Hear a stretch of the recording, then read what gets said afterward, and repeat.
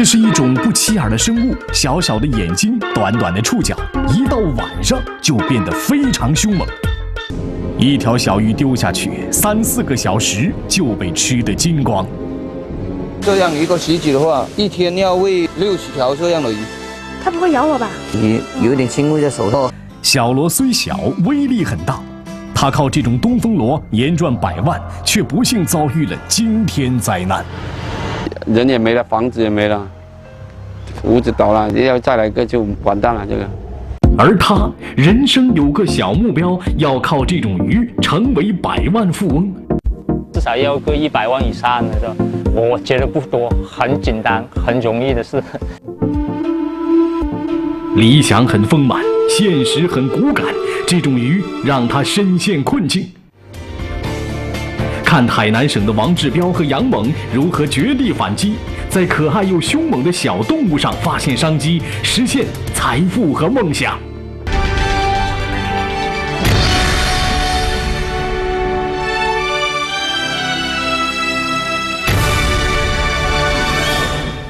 欢迎收看《致富经》，海南。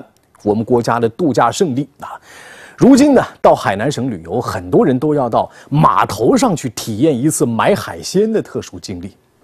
今天咱们节目的两位主人公杨猛和王志彪都在海南，他们就是在这里发现了两种很受市场欢迎的小动物，而且还靠着它们实现了年赚百万的人生小目标。这里是位于海南省三亚市渔港街的水产码头。早晨七点，回港的渔船刚一靠岸，码头上立马变得热闹非凡。来三亚度假的游客和商贩们挤在一起，共同抢货，成为了这里一道独特的风景。码头上交易的时间非常有限，只有不到两个小时。此时，人群当中有一个人正在焦急地寻找。如果错过了这段收获的高峰，他将整天都一无所获。他叫杨猛，专程从海口市赶来。在这之前，他已经跑遍福建、广州的近十个码头，都失望而归。杨猛对这些鱼虾并不感兴趣，他来这里只是为了找寻一种螺。你要找什么东西啊？到这边来找那个东风螺母嘛，大哥，大哥。有没有那东风螺啊？没有，能找得到不？找到。现在没有了是吗？对。为什么没有啊？现在？因为价钱太贵了，也以前抓的人很多，现在越来越少，很难抓得到了。像这这种鱼的话，两三块钱这样。东风螺如果是在海边抓到的东风，起码有五十块钱到六十块钱。东风螺价格相对较高，杨蒙已经在码头上转了一个多钟头，仍然没有找到。他非常着急，一边找一边向当地的商贩打听，但依旧没有收获，甚至很多人根本都不知道东风螺是什么东西。不知道啊？东风螺听说过吗？没有，没有。东风螺？嗯，啊，没有，不懂，不懂。在码头上转了好几圈，就连经常跟海鲜打交道的鱼贩子都很少听说过东风螺。那么，东风螺究竟是什么东西？杨猛又为什么？非找他不可呢。码头上搜寻未果，杨猛打算自己出海。置身茫茫大海之中，杨猛非常冒险。他只搭了个浮板，就直接飘了出去。海上的风浪一阵接着一阵，要是掉下去，后果不堪设想。航行了十多公里以后，我们终于见到了他要找的东风螺。有吗？最晚还可以，最晚还捞到现在二十还可能有，就这样了。这种就是东风花螺，这个螺你一捞上来，它就有一种冬眠的感觉。东风螺又称方斑东风螺、花螺，是一种生活在热带和亚热带海域的食肉性贝类。东风螺由于个头小，藏在泥沙里很不起眼。从前，海南的渔民们都只把它当作小杂螺处理。就算顺带捞上来，也难逃被扔掉的命运。从来不曾有人把东风螺放在眼里。像这么大的螺，在这边是非常不起眼的。以前就是说，我们只能是拿这个螺自己煮的来吃了。市场上没有这种螺的销路嘛，发不出去市场。因为不知道往哪儿销，以前翁田镇根本不会有人专程出海去捕捞东风螺。然而，就是这种大家都瞧不上眼的螺，杨猛一年时间就创造了财富三百多万，还成立了合作社，带领大家一起致富。现在，杨猛所在的海南省文昌市翁田镇已经建起了大大小小的上百个螺场。然而，当记者问起关于东风螺的养殖过程时，却所有人都脸色一变，仿佛经历了一场可怕的噩梦。人也没了，房子也没了。这带海域基本上都这样，大家看到就怕了，要再来一个就完蛋了。这个能赚钱的东风螺为何会让村民们变得如此后怕？杨猛养殖东风螺又有着什么不为人知的故事呢？声音小一点。记者前去采访的时候，杨猛把我们带到了他的螺场。东风螺是一种昼伏夜出的生物，据说一到晚上，它就会变得十分凶猛。哪有螺？都藏在沙子里面了，只能看到看到一点。对，只能看到它的触角。哎，因为晚上会出来找东西吃，白天就是藏在沙子里面。平时东风螺喜欢把自己埋在泥沙当中，一旦闻到味道，就立刻出来捕食，甚至还能吃掉一条比它大好几十倍的鱼。因为这种鱼就是螺最喜欢的一种鱼。它一扔下去不到两到三秒钟，它就马上就起来了。是吗？一条小鱼丢进去，满池子的东风螺立刻就被唤醒了。哎，好像有哎，都出来了。对对对，嗅水灵敏，一闻到鱼的腥味，它就马上出来了。哦。东风螺集体出动，不到十秒钟的时间，整条鱼全被包裹了起来。据说它们觅食非常凶猛，只要三四个小时就能把一条鱼吃得精光。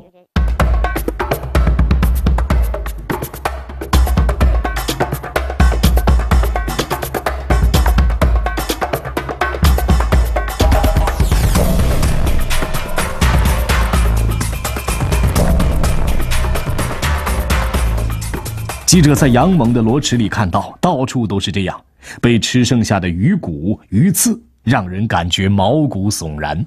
哎，来吧，它不会咬我吧？不，我好痒啊！不是要吃鱼吗？它会吃我的手吗？哎呀，我觉得它在吸我。不会，不会，它是它有有粘液的，它就是靠这种粘液爬行。一粘上去的话，贴的很紧的。哦，它那个现在它那吸盘出来了。哦，它就靠这个对对对这个点点吃。呃，因为我们刚才是手上已经拿过那个鱼，有一点腥味在手上。哦，它现在就是闻闻味道。只是普食的东西，吸有带有腥味的东西。对对对东风螺靠文管吸食，平时这条文管就藏在头部下方的口器当中。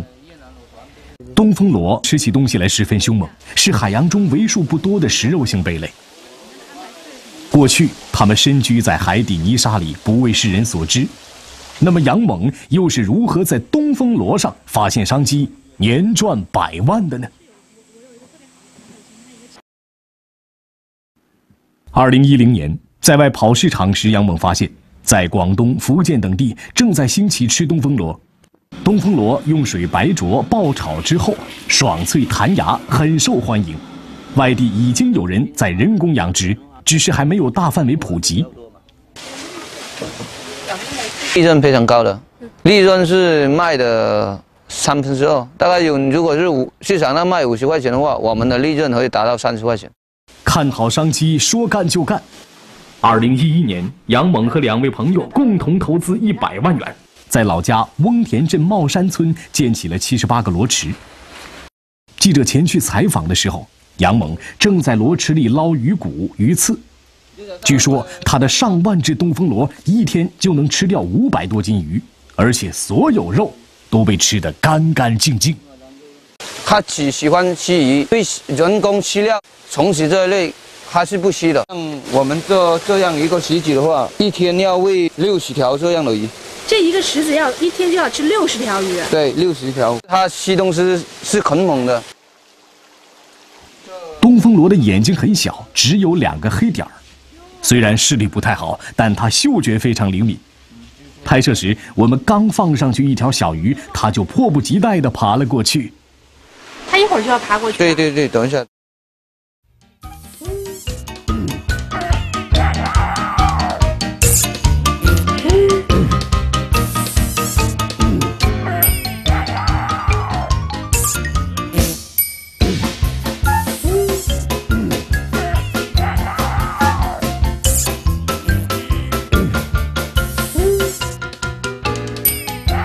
东风螺靠腹足匍匐爬行。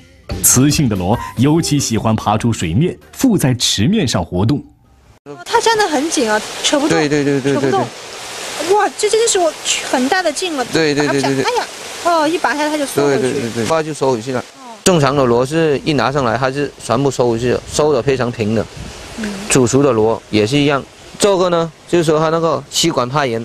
哦，这个是发炎了。对对对，那吸管已经变红了，肿大了，这个是绝绝对不能吸的。生病了，有细菌了。如果是吃的时候发现有一节这样的管儿已经在外面了，就不要吃了。对对对，只有肉了，没有壳了，肉核分离，洗掉了，最好不要吃的。二零一一年的时候，东风螺对于帽山村的人们来说还是一项新鲜事物。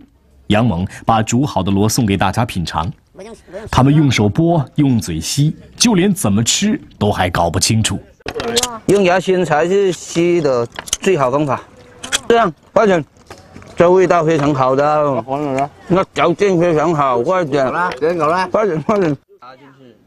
二零一二年，大家看杨猛赚了钱，加上东风螺开始流行，村民们就跟着养起了东风螺。二零一一年到二零一三年，市场紧俏，杨猛每年销售额都有一百多万。可那时候，谁也没有想到，一场空前的灾难正在悄悄降临。二零一四年七月十八号下午三点半，十七级超强台风威马逊登陆海南。这是有气象记录以来登陆我国的最强的台风，而台风就在杨蒙所在的文昌市翁田镇登陆。人们家园被毁，满目疮痍，翁田镇的所有罗厂全部遭遇重创。台风过去之后。整整一个月断水断电，眼睁睁看东风螺死掉，农民们都陷入了深深的绝望。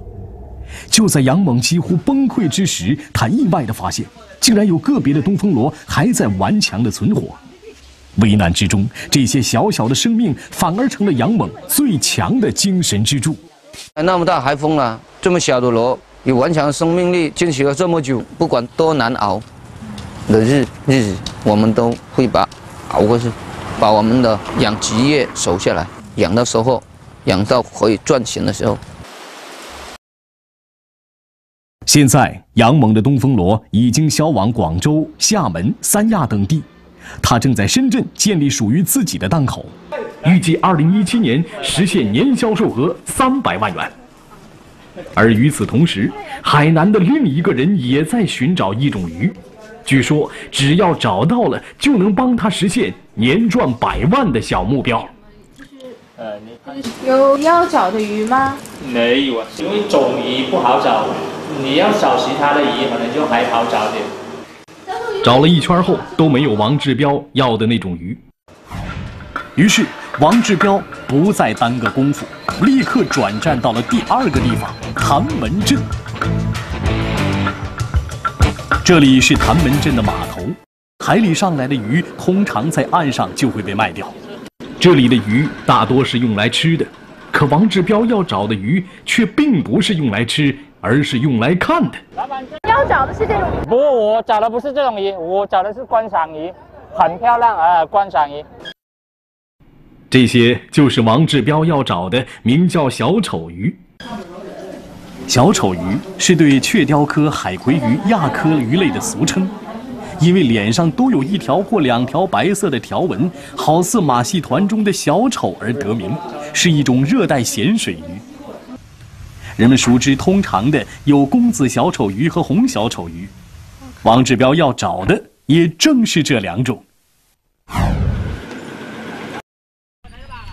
记者一路跟随王志彪找鱼，也见识到了很多稀奇的品种。各种鱼怎么这么多呀？有啊这都是，这是狗头。这种鱼长着一排跟人一样的大门牙。有有有啊，它有牙齿是吗？有有有。有有有。它会咬人的。有，它连那个小石头都咬，都可以咬碎的，像那个船一样嘛。帆呃帆帆帆船。船。这个就叫夜光。夜光蝶，夜光蝶，奇奇怪怪的鱼有很多，就是没有王志彪要找的野生小丑鱼。即使很难，他也每隔一段时间就会像这样出来找寻。因为小丑鱼能给王志彪带来很多的财富。这个就是红小丑，我们是按多少公分来卖的。像这种就是大概有三到四公分，我们就是批给人家就是二三十块钱了。啊，对对。即使最小的鱼，批发价也要十块钱一条，在市场上还供不应求。王志彪当初就是看到了这个商机，所以才开始养殖小丑鱼。他觉得这个东西赚钱太容易了。然而，小丑鱼的财富真的是唾手可得吗？王志彪的跨行创业在实际中究竟会怎样呢？二零零二年，王志彪从琼州大学毕业后进入了医药销售行业。十年过去了，尽管他做到了销售经理的职位，可并没有存下太多钱。三十而立之后，他想要转行。二零一二年的一天，王志彪跟随朋友来到南海水产研究所。在这里，他第一次见到了小丑鱼，并迅速爱上了它们。朋友刚好做其相关课题，并告诉王志彪，小丑鱼作为观赏鱼很受市场欢迎，但繁殖起来比较困难。海水观赏鱼最百分之九十五都是靠野生捕捞的，小丑鱼呢，在海水市场里面，它销量常年都是稳居第一。回到海南之后，王志彪辞了工作。来到研究所，边打工边学习小丑鱼的相关知识。四个月的时间，王志彪孵化出了将近四万条小丑鱼。他觉得创业太简单了，他还给自己设定了一个小目标：是幺三零要有一个个至少要个一百万以上的，是吧？我觉得不多，很简单，很容易的事。王志彪的这笔账原来是这么算的。一对鱼每次产两千条，每个月产两次，每条卖十块钱，一对鱼每月就能产生四万元的效益。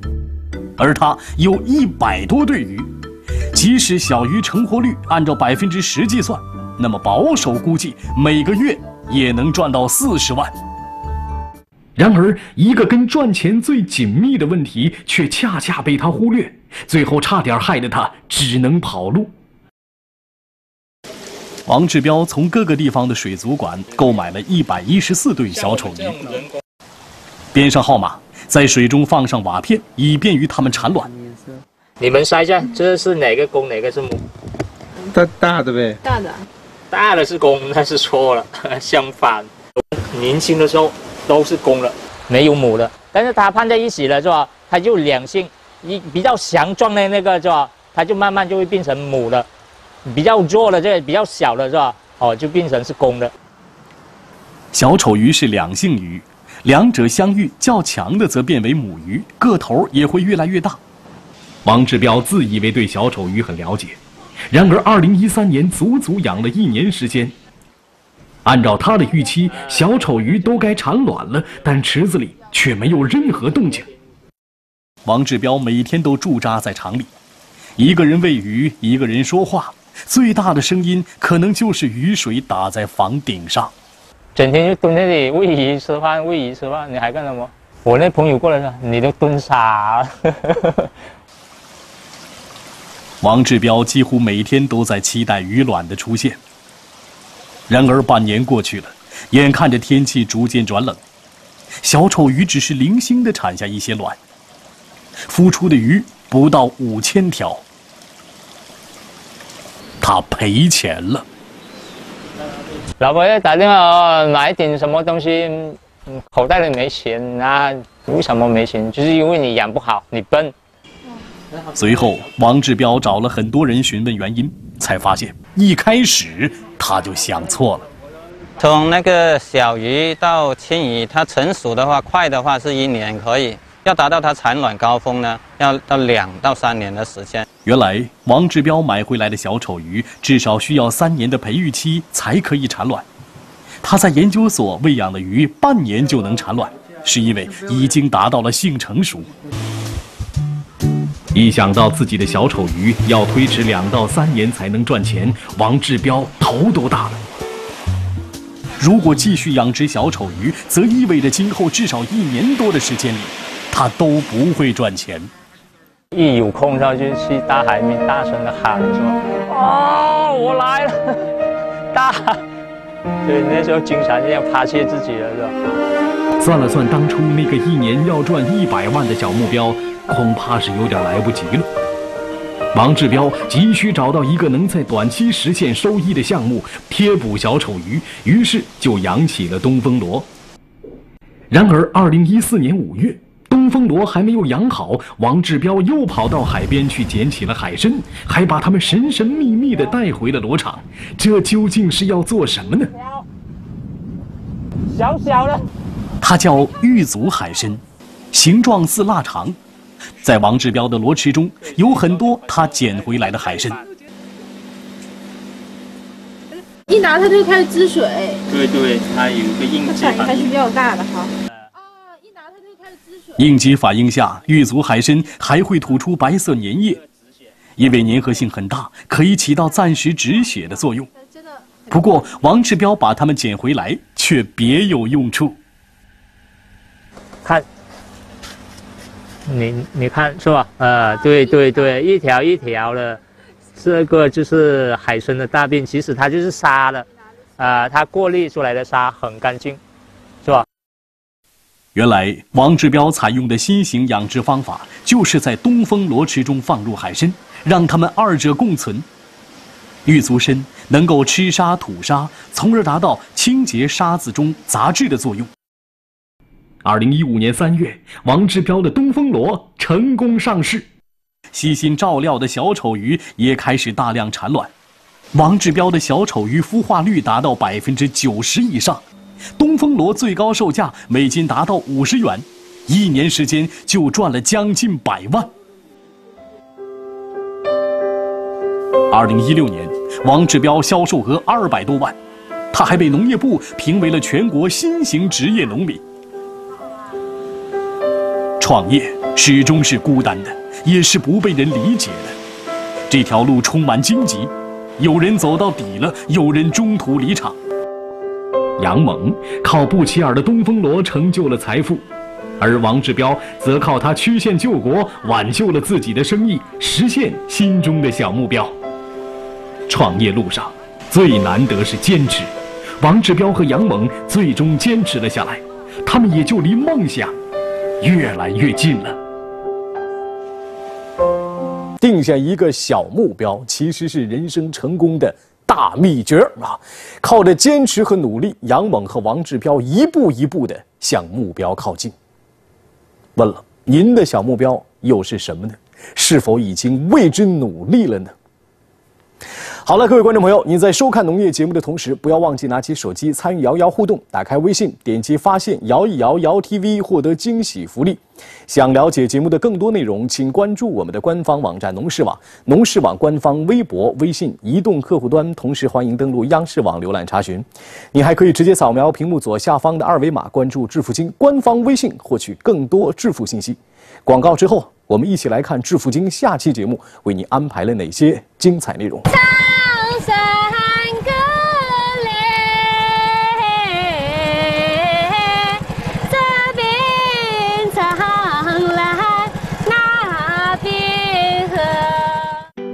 他人美歌甜，会赚钱。